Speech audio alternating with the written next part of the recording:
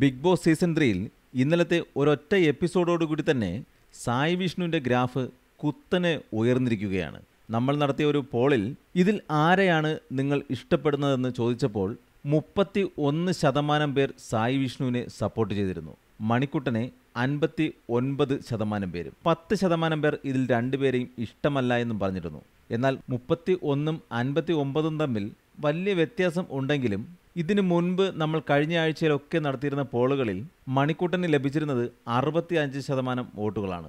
ഏത് പോൾ നടത്തിയാലും മിനിമം അറുപത്തി അഞ്ച് മണിക്കൂട്ടൻ നേടിയിരുന്നു. മാത്രവുമല്ല സായി വിഷ്ണുവിന് ലഭിച്ചിരുന്നത് പതിനാലോ പതിനഞ്ചോ മാത്രമായിരുന്നു. ഇനി അഞ്ച് മത്സരാർത്ഥികളെ കൂടി ചേർത്ത് നമ്മൾ ഇത് നടത്തിയ സമയത്ത് സായി വിഷ്ണുവിന് ലഭിച്ചത് ഇരുപത്തി ഒൻപത് ശതമാനവും മണിക്കുട്ടന് അൻപത്തി ഒന്ന് ശതമാനവുമാണ്. ഡിംബലിന് പന്ത്രണ്ടും കിഡിലൻ ഫിറോസിന് നാലും റിതുവിന് അഞ്ചും ശതമാനം വോട്ടുകളാണ് ലഭിച്ചിരുന്നത്. മുപ്പത്തി ആറായിരം പേർ ചെയ്ത വോട്ടിൽ നിന്നാണ് ഇത്രയും വ്യത്യാസങ്ങൾ വന്നിരിക്കുന്നത്. അതേസമയം സായി വിഷ്ണുവിന്റെ നില വളരെ മുമ്പിൽ എത്തിയെന്ന് തന്നെ നമുക്ക് പറയാം. നേരത്തെ പതിനാല് ശതമാനമായിരുന്നു മിക്ക പോളുകളിലും ഡിംബൽ നേടിയിരുന്നത്. എന്നാൽ ഡിംബലിനെയൊക്കെ പിന്തള്ളിക്കൊണ്ട് അതിന്റെ ഒരിരട്ടി തന്നെ നേടിയിരിക്കുകയാണ് സായി വിഷ്ണു. ഈ സീസണിലെ ഫൈനൽ അഞ്ചിലെ ഒരാളായി സായി വിഷ്ണു നേരത്തെ തന്നെ സീറ്റ് ഉറപ്പിച്ചിട്ടുണ്ടെങ്കിലും ഒരുപക്ഷെ ഇനി വിന്നറായാലും അതിൽ അത്ഭുതപ്പെടേണ്ടതില്ല. ഏറ്റവും കൂടുതൽ വോട്ട് ഇപ്പോൾ നേടിക്കൊണ്ടിരിക്കുന്നത് മണിക്കൂട്ടനാണെങ്കിലും ഇനി അങ്ങോട്ടുള്ള പ്രകടനങ്ങൾ എങ്ങനെയാകും എന്നുള്ളത് നോക്കിയിട്ടായിരിക്കും ഫൈനലിലെ വിജയിയെ തിരഞ്ഞെടുക്കുന്നത്. അങ്ങനെയാണെന്നുണ്ടെങ്കിൽ ഇവർ തമ്മിലുള്ള പോരാട്ടം മുറുകാൻ തന്നെയാണ് സാധ്യത.